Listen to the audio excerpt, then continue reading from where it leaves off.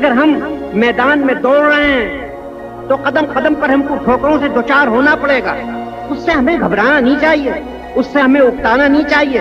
مرد بن کر ان تمام ذمہ داریوں کو اٹھانا چاہیے اور ان پریشانیوں کا مقابلہ کرنا چاہیے۔ آج اگر آسمانوں کی بلندی سے ایک فرشتہ دہلی کے قطب مینار پر اتر کر یہ اعلان کرے کہ ہندوستان کو ابھی آزادی مل سکتی ہے بشرط یہ کہ وہ ہندو مسلم اتحاد کو چھوڑ دے، تو یقیناً میں اس سے رد کر دوں گا اور اتحاد کی تبلیغ کرتا رہوں گا۔ اگر آزادی ملنے میں تاخیر ہوئی تو یہ صرف ہندوستان کا نقصان ہوگا لیکن اگر ہندو مسلم اتحاد جاتا رہا تو یہ پوری انسانیت کا نقصان ہوگا۔ میں مسلمان ہوں اور مجھے ہندوستانی ہونے پر فخر ہے۔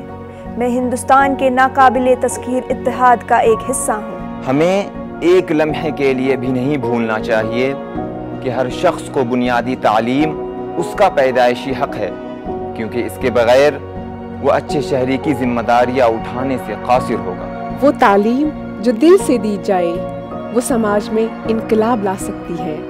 زبان سے دی گئی تعلیم کی اپنی اہمیت ہے، لیکن اچھے اعمال تا حیات بہتری پیدا کرتے ہیں۔